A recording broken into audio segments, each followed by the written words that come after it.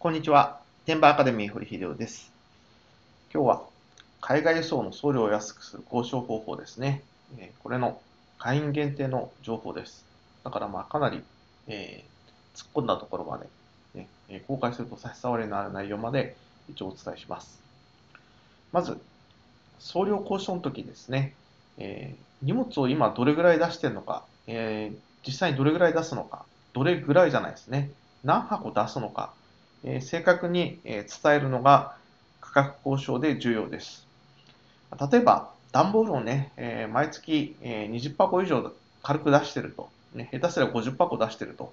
いう場合は、まあ、アバウトに20箱とか50箱でもいいんでしょうけど、まあ、そうじゃなくてほとんどの方はですね、えー、大体月に直すと10箱ぐらいという、えー会員さんが多いかなと思います。でその場合はですね、えー、大体10箱ですと言って料金を出すと、なかなかいい料金出てきません。ですのでね、えー正確に、えー毎週3箱ずつ出してると。ね、でそれを、えー重さは1個が10キロの3箱だから1回に30キロ出してると。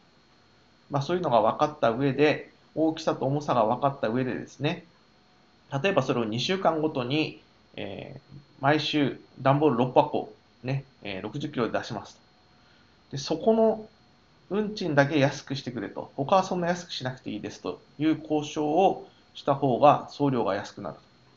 ね、全般に安く出せって言ってね、いまいち安く出てないですね。大量に送ってる方は出てるんですけど、そうでもない量の方は出てないと。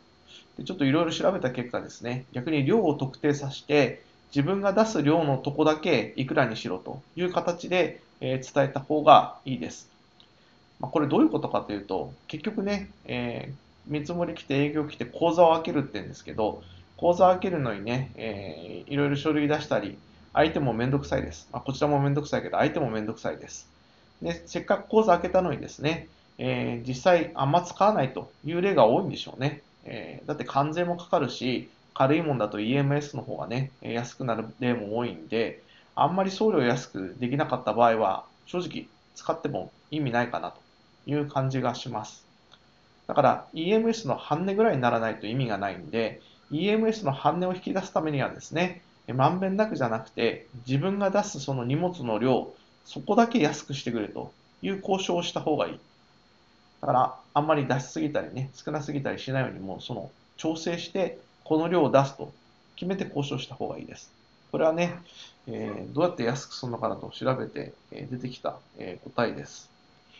で、当然のことながら、一社だけだとね、心もとないんで、というか、え交渉事なんで、相3つ取るのが、え原則です。だから、DHS、FedEx、UPS、え全部聞いた方がいいです。で、聞く前にね、今の荷物の量をきちんと把握してください。で、それを私にお伝えいただければ、じゃあこういう形で、えー話交渉して話してくださいというアドバイスをさせていただきます。で先ほどね、ちらっと言ったんですけど、注意点としてですね、えー EMS というのは、えー郵便局をやってるサービスで、郵便局はね、世界中の郵便局が、まあ、提携というかね、そういう、まあ、ほとんど国が運営してるんで、まあ、別格扱い。どういうことかっていうと、えー関税でもね、えー大して調べられないです。スルーしちゃう場合が多いと。ところが、郵便局以外の輸送会社は、えー本来お国のやることを DH なり FedEx なり UPS がですね、お前がきちんと把握して申告しろという責任をかぶせられてるんで、えーかなりきちんと申告しないといけないと。そんなわけで、えー EMS だと全然かかんなかった関税がですね、下手すりゃまんべんなく全部かかるとか、ね、かかんないところでも、2割、3割はかかると。ね、10回送れば2回、3回はかかると。逆に多い時は必ずかかるとかね。えー会社とかね、えー伝票の書き方、インボイスの書き方によっては、えー毎回かかるということになります。それから容積重量っていうのがありまして、えー重さとですね、体積あたりで決めた仮の、え重さ、どっちか高い方が送料としてかかります。これは EBS と大きく違うところなんで、例えば私がお勧めしているフィギュアなんかばっかり扱っている方だと、正直、えー全然、ね、EMS の方が安いじゃんということにもなりかねないです。だから交渉する前にね、えー重さと大きさお知らせください。えそうじゃないとね、故障してもちょっとこれ、え安くなりそうもないですねということになるケースもあるんで、えまずは今送ってる荷物の大きさと重さ、えそれが重要です。でもし余力があればですね、あんま情報がないんでね、え引き出せるかどうか、安くなるかどうかわかんないですけど、えメジャーじゃないこういう会社もいくつかあります。まあ、一つ言えるのは大量に送る人だったらね、メジャーじゃないところでも安く、え、ゲットできる、いい条件を出せる可能性があります。ただそうじゃなければ、おそらくね、えー、メジャーじゃないところは、主に企業相手なんで、まあ、そうですね、コンテナに迫るぐらいの勢いじゃないと、あんまり安くならないかなという気がします。まあ、